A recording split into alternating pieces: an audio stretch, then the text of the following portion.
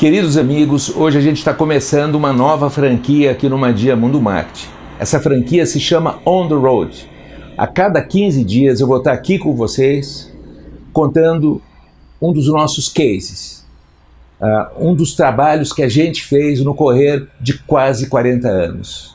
Nesses quase 40 anos, a gente teve mais de 500 empresas como clientes, fez mais de 1.200 trabalhos, trabalhou para mais de 3 mil marcas então, a cada 15 dias, né, eu vou estar aqui contando para vocês especificamente uma ou outra história dessa nossa trajetória de quase 40 anos. Como esse é o primeiro, eu tenho que prestar uma homenagem àquelas primeiras empresas que acreditaram numa empresa de consultoria que estava nascendo, de um consultor que queria ser consultor, mas não sabia exatamente como trabalhavam, como trabalhavam os consultores, uma empresa de consultoria, e pior ainda, não tinha para quem perguntar, então teve que desenvolver o conhecimento, não é? On the road, né? na caminhada, né?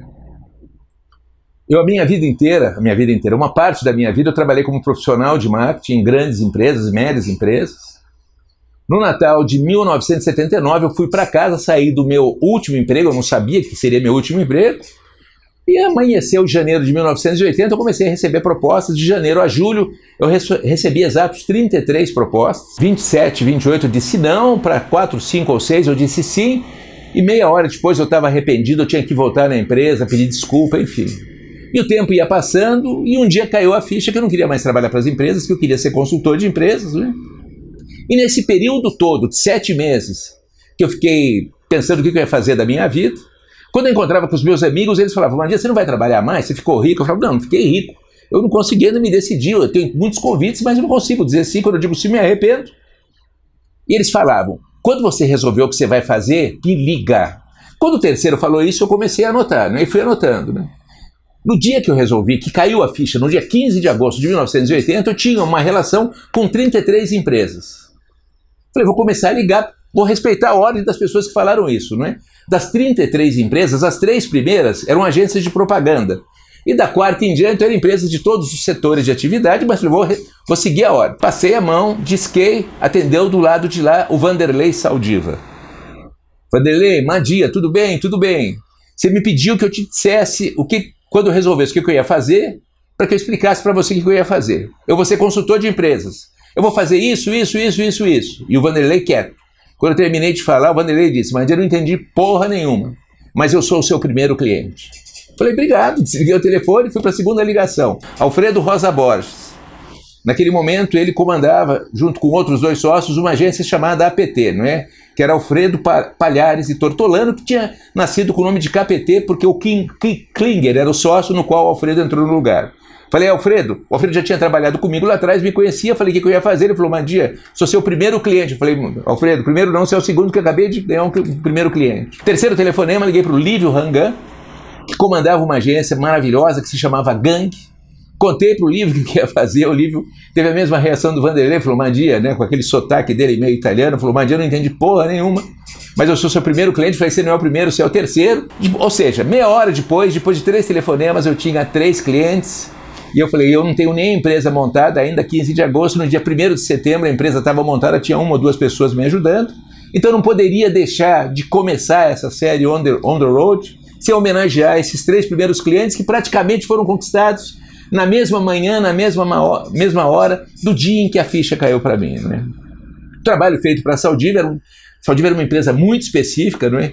De dois empresários maravilhosos, de, ser, de, dois seres humanos de extraordinária eh, qualidade, né? A Rose e o Vanderlei. O Vanderlei, um empresário com uma pegada muito consistente, uma capacidade de planejamento único. A Rose, muito sensível, né? Com uma metodologia de pesquisa exclusiva. Todos os anos a Rose realizava uma grande pesquisa que praticamente pautava todos os veículos de comunicação que paravam o país. Tudo que a gente fez como consultor deles foi ajudá-los a formatar a empresa, a posicionar a empresa, a crescer, prosperar. Eles, eles viviam praticamente para a mãe, com a mãe, não é? Eles conseguiram prosperar, conseguiram ter um relativo patrimônio e, infelizmente, o marketing e a propaganda brasileira perderam os dois irmãos há anos atrás. Né? Eles morreram. Alfredo Rosa Borges, que também, infelizmente, já faleceu, tinha trabalhado comigo na, no Itaú, Ah, depois ele teve uma carreira maravilhosa ainda no mercado financeiro. Depois do Itaú, ele foi para o BCN e um dia ele foi se tornou sócio da agência que se chamava KPT e virou APT e depois foi comprado e acabou virando nova agência. Né? Já a, a, a APT daquele momento tinha uma pegada diferente.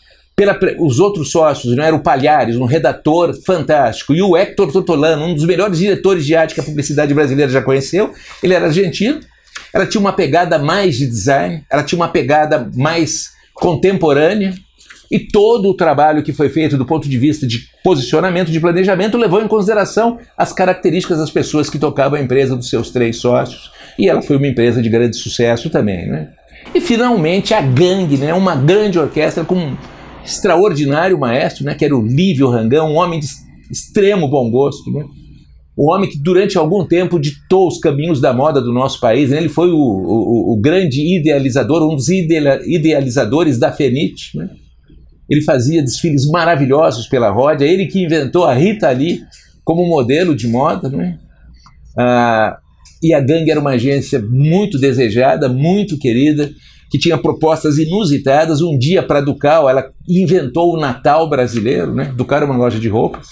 Mas também, infelizmente, os três primeiros clientes nossos, a gente acabou perdendo as pessoas que comandavam essas empresas. O livro também nos deixou faz alguns anos. Né? Então eu não poderia começar essa série On the Road sem prestar uma homenagem àqueles que foram os nossos primeiros clientes. Né?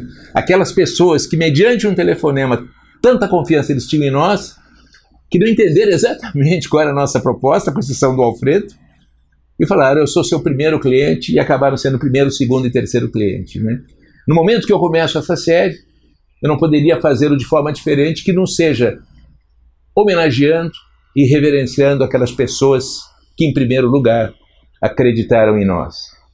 Rose e Vanderlei Saldiva, Alfredo Rosa Borges e Lívio Rangan. A eles que, infelizmente, já nos deixaram o nosso melhor e eterno agradecimento.